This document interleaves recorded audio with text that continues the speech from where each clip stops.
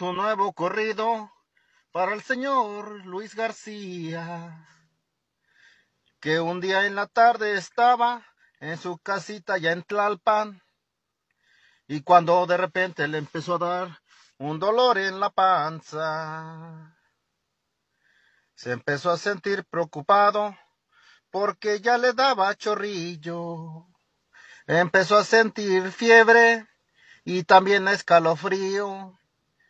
Pensó que se lo iba a llevar la huesuda y decidió llamarle a Miriam Salgado. Dijo, vente para la casa, que siento que me estoy muriendo.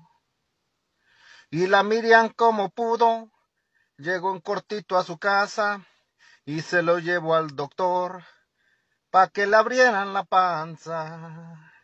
Ya estando con el doctor, el doctor le dijo, mire señor García, tenemos que abrirle la panza, tengo que sacarle esa lombrizota, que la que le está dando el malestar.